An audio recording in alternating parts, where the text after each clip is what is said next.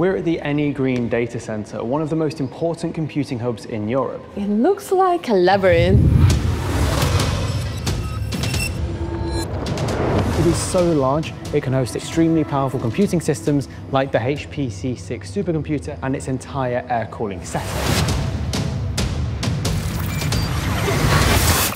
We better wear these while we go through some areas. Protocol. Oh, like racing games, but for engineers.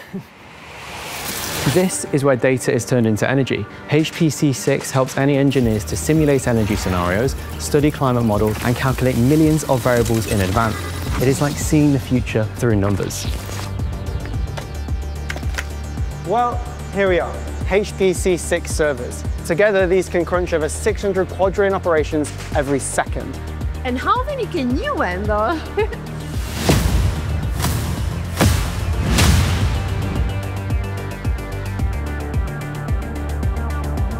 See him? That's Giovanni Viciconte. He's the expert on this system. Welcome to HPC6. Incredible. It almost looks endless. It does, doesn't it? What we do here is pretty futuristic. We look for solutions to complex problems and then, thanks to HPC6, we quickly know if they can work. How quickly are we talking about? What once took months, we can now do it in days, sometimes even hours. To simulating, for example, what's going on into wind farms or CO2 injection to see how wind moves through turbine fields. Basically, you've got your own crystal ball. Not exactly. A model is never the truth. It's a tool.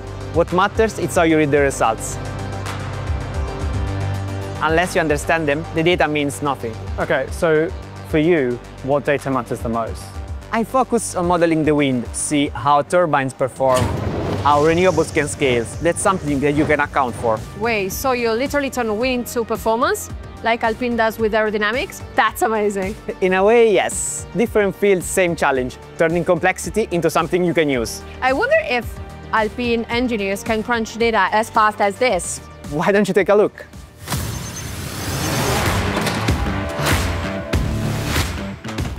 Tom, we are almost at the simulator room, the closest thing to be on track.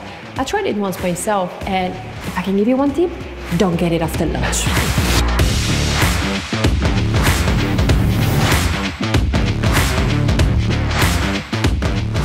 Hello, I'm Paula Garcia Ruiz, Aeroscience and Technology Team Leader at BWT Alpine Formula One team. Welcome. Hi, you must know the simulator better than anyone. So you're the expert here then? I can tell you all about it. We tend to simulate everything in here, put a different type of geometry and everything, but not two runs are not the same. You're buried in data. Sounds like a dream. Yeah, terabytes of it. Just to give you a bit of context, every run that we simulate has thousands of channels. Wow. How do you manage all of that? We have very big computers where we send all of this data, we get the results, and we give it to the right people. So, be honest then, is there anything you can't simulate? Not really. Sky is the limit. And now with all the AI tools, it's even better. We tend to simulate everything in the wind tunnel and in the simulator, but in reality, the driver gives us feedback to know if the car is performing or not. Oh, interesting. Speaking of which, he's about to come. Oh, of course. Don't let us keep you. I just hope we skip lunch. Anyway, it's really amazing to see how much starts from data and ends up shaping what happens on track. Yeah, it all connects. Yeah.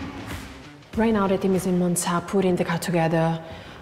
I wish I were there. I would have a million questions for the engineers. Well, you might just get your chance. We're about to have a chat with Karel Loos, head of trackside engineering for BWT Alpine Formula One team. No way. He's the one in charge of the team and all key race data.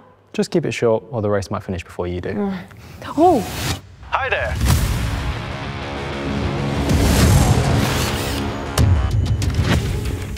Karel, great to meet you. Hey, you have some questions for me. Yes, today we're seeing how much data drive decisions, but I'm curious, when conditions get unpredictable, like with the weather, how do you handle it?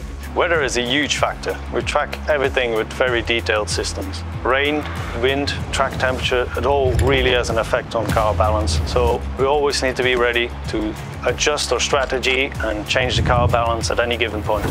When conditions are, let's say, predictably fast, like in Monza, Tempo of speed, what changes for you? Everything happens so much faster. The data comes in so much faster and we need to make detailed decision much quicker than usual. what's the key data point you focus on when you make those calls? I bet you won't guess. Uh, let's see, tire temperature, no, corner speed, brake pressure. Wait, it's a driver. He's the one that has the best feeling of the car. Of course, it makes sense. The same thing happens at Eni. The AI and supercomputers, they can make predictions, but you still need human experience to actually interpret the data. So it's humans and technology working together that actually makes a difference. And Karel, with all that responsibility on your shoulder, I bet you end up dreaming on Graph and numbers, don't you?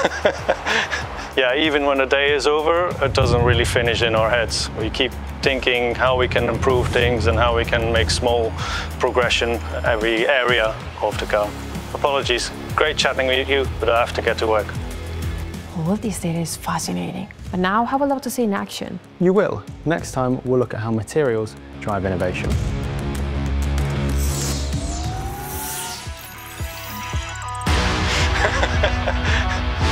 Yeah, terabytes.